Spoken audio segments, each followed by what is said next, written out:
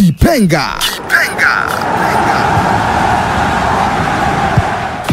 ukiangalia uh, uh, ni kweli kwamba kuna baadhi ya ya, ya, ya ya watu au au au, au wachezaji ambao unakuta eh, yeye kwa kukaa tu kwenye kwenye kwenye benchi kwake anaridhika, sio?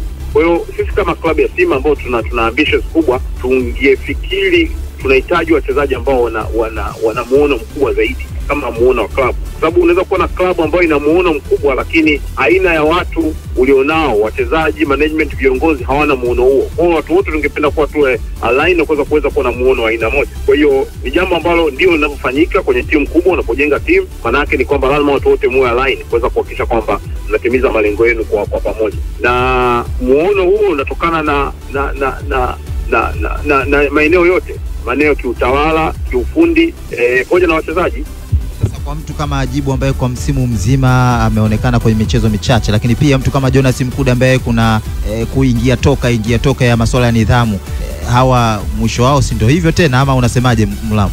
Ah, unajua hu- hu- hu- huwezi kucomment mambo ya ya mtu mmoja mmoja. Uh, ni jambo ambalo litafanyiwa kazi kwa ujumla wake e, na mwalimu kuweza kuangalia aina ya ya, ya wachezaji alionao na kuweza kuangalia kama wanafiti katika mipango yetu ya muda mrefu. E, na kama watakuwa wanafiti maanayake wa, wataendelea kuwepo kwenye timu, lakini ikionekana hawafiti katika mipango ya muda mrefu, maanaake ni kwamba itakuwa ni vigumu kuendelea na, na, na, katika timu. Kwa hiyo ha- ha- hayo ni mambo ambayo sikuyazungumza sasa hivi, kwa sababu ni jambo ambalo ni la kiufundi zaidi, na mchezaji kuto kucheza hakumaanishi kwamba hana uwezo. Inawezekana kuna sababu nyingine ambazo e, mwalimu anazo ambazo anaweza kaamua ah, kwa kipindi hiki akaamua kutumia aina fulani ya wachezaji kutokana na aina fulani ya mfumo ambao anautumia na akawa na mfumo wa aina nyingine tena ambao anaweza kawa anahitaji aina nyingine ya wachezaji. Kwa hiyo yote ni, ni mambo ya kiufundi zaidi kuliko kuliko kuliko mwono wa kawaida au au maoni ya kwangu kama kama kama kama kama kama kama, kama Mlamu. Mjumbe wa bodi ya wakurugenzi klabu ya soka ya Simba Mulamu Ng'ambe akizungumza nami.